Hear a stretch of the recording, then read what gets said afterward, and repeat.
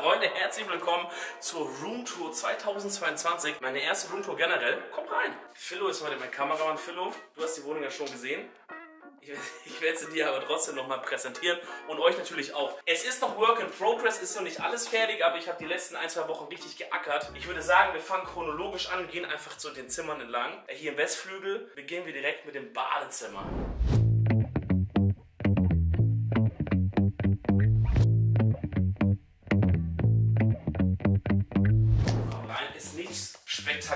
Würde ich sagen. Duschwanne, man kann baden, wenn man Bock hat. Habe ich auch schon einmal gemacht bisher. Ansonsten finde ich Duschen mit so Duschvorhang immer so ein bisschen so geht so chillig. Äh, ich habe eigentlich auch eine andere Dusche drüben, die sehen wir gleich noch, aber da ist aktuell wegen Bauarbeiten so ein bisschen schwierig. Ja, ansonsten sind hier ein bisschen die Beauty Selection. Ihr seht, ich bin jemand äh, mit hohen Ansprüchen, mit 3 in 1. Ja, ja, ansonsten hier ein bisschen eine kleine Selection an Düfte. Ich muss sagen, das hier ist gerade mein Lieblingsduft. Wie spricht man das aus, das Wort oben? Allure Omsburg von Chanel. Ansonsten Klassiker aus aber blöde Chanel.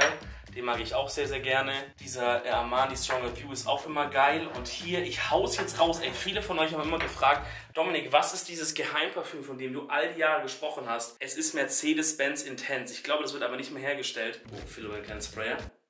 Oha! Es riecht männlich, aber nicht so zu doll. Manche Parfüms sind so, die riechen dann nach Holz und Leder und so. Der kommt auch frisch, aber auch geil. Ansonsten hier noch mein Schmuckstück, Alter, dieser Samsung Waschtrockner. Aber ich benutze es eigentlich fast nur als Waschmaschine, weil das Trocknen dauert halt legit so vier Stunden. Wir finden in deinem Bad übrigens was, was sich wahrscheinlich durch die ganze Wohnung ziehen wird und vielleicht auch so ein kleines Geheimnis von dir offenbart. Oh, Oh. stimmt. Auf dieses offensichtlich sehr gestagte Deko, die hier so steht, bin ich jetzt nicht so eingegangen. So sieht's immer aus bei mir zu Hause, tatsächlich. Es steht eigentlich immer genau so da. Aber du sagst schon, Duftkerzen, bin ich ein kranker Fan. Das ist kein Placement mit Woodwick hier, aber ich lasse dich jetzt mal dran riechen. Krass. Das ist äh, Caramel Toasted Sesame. Ja, ist krass. Da hinten steht auch eine, die ist dann zum Baden. Oh. Empfang. Ich finde so Duftkerzen und, und Stuff ist schon geil, vor allem im Winter. Ey, perfekt, dann lass direkt mal weitergehen. Ins Schlafzimmer, Freunde. Magic happens.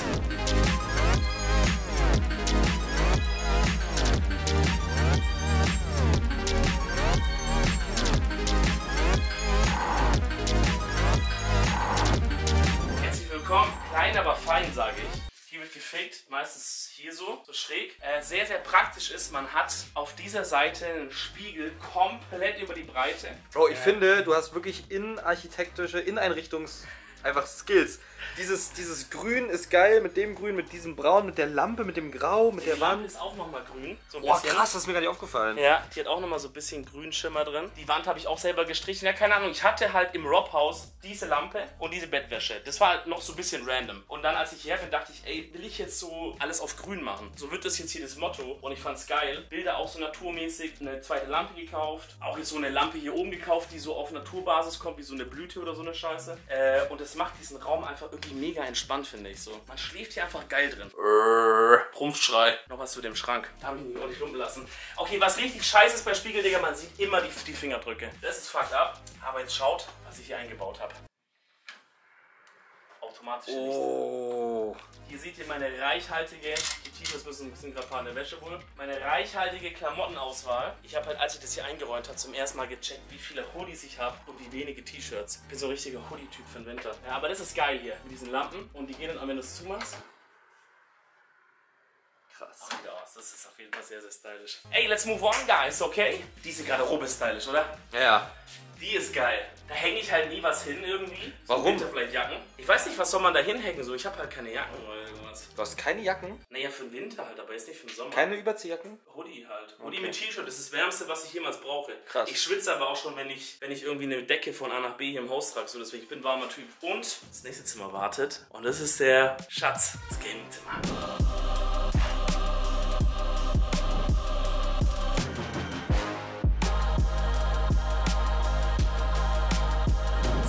Bisschen wild aus vielleicht noch. Das ist der Raum, der glaube ich noch am meisten Work in Progress ist gerade. Vor allem hier beim Setup. Da habe ich jetzt erst gestern die Monitore auf diese Schwebehalterung hier gepackt. Tisch ist fahrbar, sage ich euch ehrlich, hat mein Leben verändert.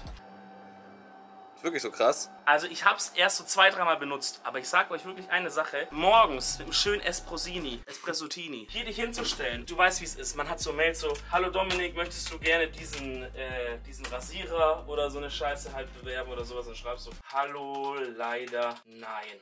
Und das im Stehen zu machen, ist einfach geil. Oder was ich auch schon zweimal gemacht habe, dreimal, im Stehen den Stream anfangen. Das ist stylisch. Du kommst mit einer anderen Energy hier rein. Okay, krass. Wirklich. Ja, das ist das Setup. Das wird jetzt in den nächsten äh, Tagen noch ein bisschen äh, geil gemacht. Auch hier mit so einem Cable-Management-Schlauch und so. Ich will es auf Ernst hier nice machen. Akustisch habe ich hier losgelegt. Ihr seht oben diese Schaumstoffmatten. Die gibt es viermal hier da drüben auch noch im Raum. Und hier in der Ecke sind diese Bass-Traps, die quasi hier so, keine Ahnung, Bass rausnehmen sollen oder I don't know. Die Couches finde ich auch noch ein Highlight, denn die kann zu einer Schlafcouch werden. Das heißt, ich habe dann hier drin halt einen kompletten Gäste-Schlafplatz. Und was ich überlegt habe, was ich glaube auch machen werde, ich werde von hier im Sitzen Teile im Stream machen. Ich werde irgendwie mein Mikro hier so noch ein zweites hinbauen, die Cams ausrichten, dass ich einfach von der Couch hier hin euch schon auf Late Night 23 Uhr Just Chatting mit euch machen kann. Mal kurz gucken, wie das aussehen würde. Ey, ja, hier, Eric schreibt gerade im Chat, dass er auch einen krass kleinen Pimmel hat. So, ich kann es auf jeden Fall verstehen. Ich habe natürlich einen sehr lang. Aber, ey, Eric, ich wünsche dir alles Gute, Mann. Ja, ansonsten, worüber ich sehr froh bin, ist, dass ich auch endlich ein bisschen Stauraum habe. Hier kann ich so meine ganze Scheiße irgendwie einsortieren. Hier ist, glaube Podcast-Equipment drin. Ja, genau. So, das ist nice. Das befriedigt den Allmann in mir. Diese Schaumdinger kommen noch an die Wand ran. Und dann ist das Ding, glaube ich, hier. Da, Neon-Sign. Stellt euch vor. Boah. Reese? Reese, hier diese, diese Wavepads noch. Dann ist das hier wirklich ein Baba-Raum. Mama Tütze und mal einen Schlagtest. Der Sound ist jetzt schon ziemlich geil. Also wenn ihr wüsstet, wie es hier vorher drin war, das war wirklich Katastrophe. Du hattest hier einen Krankenhalt drin und jetzt ist es... Man hat noch irgend so eine weirde Frequenz, aber die ficken wir noch raus. Das nächste Zimmer wäre dann hier.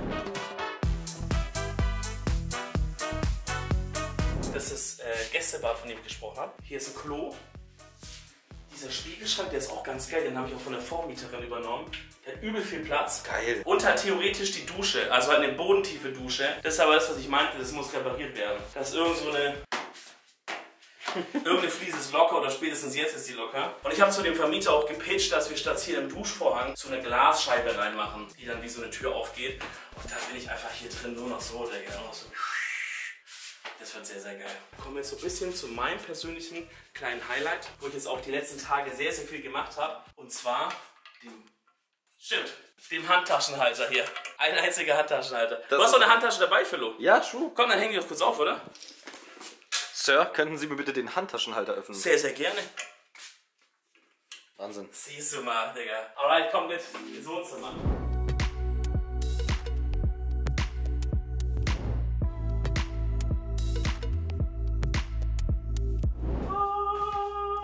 Sehr, sehr geiler Raum. Ich fühle mich extrem wohl hier, seitdem es auch die neue Couch da ist. Ey, diese Couch hier ist so krank bequem. Zugegebenermaßen, ich habe einiges dafür zahlen müssen. War es mir auch wert für meine erste Wohnung. Ich musste mir generell viele Möbel kaufen, aber ich wollte mich halt wohlfühlen. Und da kommt mein Partner des heutigen Videos ins Spiel und zwar Anyfin. Freunde, ihr kennt es, es passiert schnell. Ihr wollt was kaufen, was teures, zum Beispiel Möbel für die Wohnung und dann gibt es als Angebot Ratenzahlung. Ihr klickt drauf, weil ihr das Geld gerade nicht habt oder einfach später zahlen wollt und seid mit richtig beschissenen Zinsen gefangen und kommt da nicht mehr raus. Da kommt Anyfin ins Spiel, denn bei den Aktien könnt ihr quasi eure jetzige Ratenzahlung einreichen. Anyfin gibt euch da ein neues Angebot mit besseren Zinsen. Ihr könnt dann überlegen, habt ihr Bock drauf oder nicht und das Ganze akzeptieren. Wenn ihr das tut, zahlt die Bank von Anyfin den Kredit für euch quasi ab und ihr zahlt dann bei der Bank von Anyfin mit einem neueren, besseren Zinssatz diesen Betrag ganz einfach entspannt zurück. Und mit dem Code REESE könnt ihr jetzt sogar noch 20 Euro auf eure erste Rate sparen. Also checkt's auf jeden Fall ab, Freunde. Und ich würde sagen, wir gehen weiter in die Küche.